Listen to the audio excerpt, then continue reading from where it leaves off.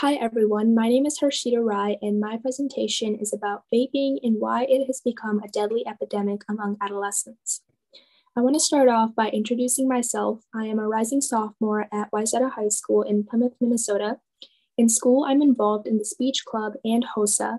Outside of school, I spend my time volunteering at hospitals and playing piano for seniors at nursing homes.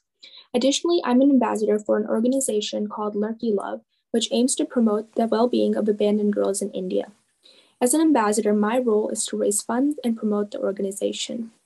My interests lie in women's health, and in the future, I hope to have a career in medicine. So, here's the quick introduction to the topic at hand.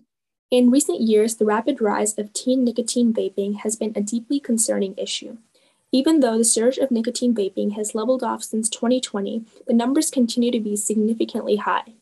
Between July 2021 and June 2022, around 800,000 teens in the United States between the ages of 15 and 18 tried their first e cigarette.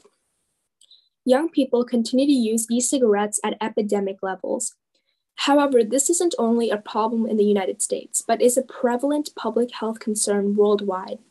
In Canada, the e cigarette use rate reached 14.6% among adolescents in 2018 and 32.7% in the UK. Teens also aren't simply experimenting with e cigarettes, but are instead using them on a daily basis, possibly without being educated on the long term consequences. The tobacco industry strategically promotes its products to the youth through appealing advertisements on social media that promote flavors, make health claims, and push lifestyle benefits. Companies use these tactics on vulnerable teens to convince them to buy such substances, in this presentation, I will explain how e-cigarettes work, a detailed explanation of the science behind nicotine addiction, the short and long-term effects of e-cigarettes in adolescents, and a conclusion, including the responses to this epidemic.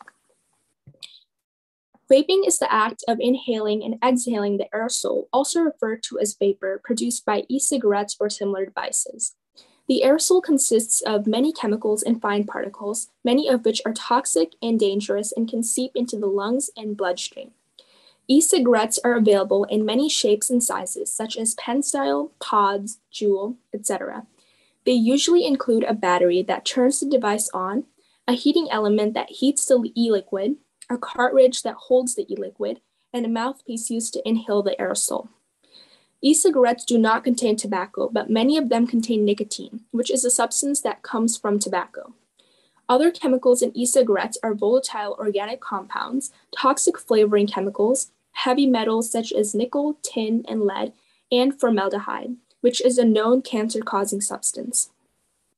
The FDA does not currently require testing of all the substances in e-cigarettes to ensure they're safe.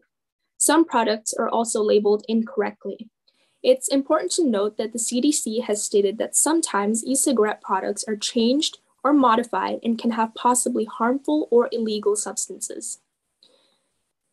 The science behind nicotine addiction is closely related to the reward system, which is one of the most primitive parts of the brain. E cigarettes contain a highly addictive substance known as nicotine. When nicotine laced vapor is inhaled, the substance is absorbed through the blood vessel linings. In about 10 seconds, it hijacks the brain's reward system, also known as the mesolimbic dopamine system. This reward system is meant for natural neurotransmitters such as acetylcholine, which is used to activate muscles in our bodies. However, nicotine fits into the acetylcholine receptor due to their similar shape. Once it binds to the receptor, the brain releases a neurotransmitter called dopamine, which aids in the creation of a feel good emotion.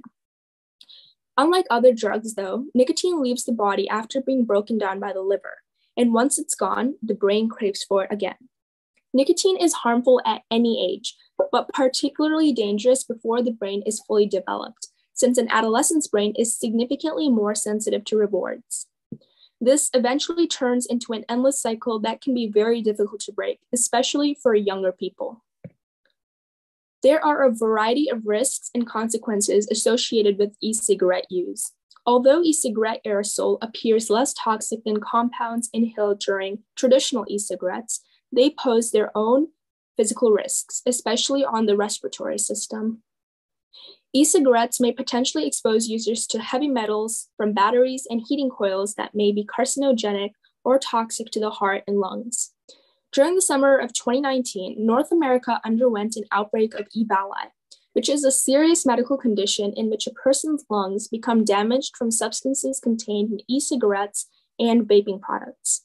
The 2019 outbreak led to hundreds of hospitalizations and dozens of deaths.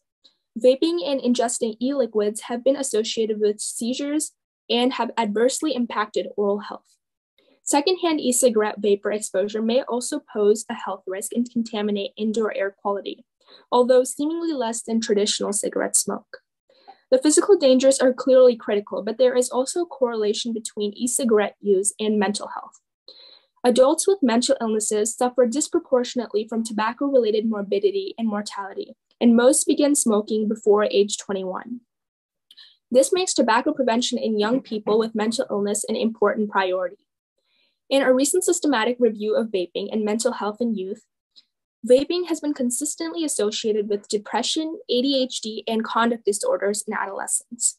Nicotine use in adolescents interfered with natural brain development in key areas, leading to problems with learning and memory. Nicotine impairs development of the prefrontal cortex, which is the area of the brain responsible for decision making, judgment, and planning. However, the vaping effects in a long term trajectory still remain unclear. Youth vaping is now a well studied phenomenon, and although vaping specific treatments remain underdeveloped, there have been significant efforts to combat this issue. One example being the FDA denying authorization to market Juul products in June 2022. This action ensures that the FDA will be committed to ensuring that all e cigarettes and electronic delivery system products currently being marketed to consumers meet public health standards. Many adolescents are also sharing their experiences. Simah Herman, an 18 year old at the time, had a near death experience due to three years of vaping, which made her realize the dangers of e cigarettes. She decided to become an anti vaping activist and works to discourage e cigarette use and motivates users to quit. This is clearly such an important topic to be addressed and for adolescents to be educated about. And hopefully, you also learned something meaningful from this presentation. These are some of my references. I used information from the CDC, the FDA, the National Institute of Drug Abuse, and a few other sources. Lastly, I would like to thank my family, the GHLC team for giving students this amazing platform, and all of the listeners. If you have any questions, feel free to contact me. My email is on the screen. And thank you again for your time.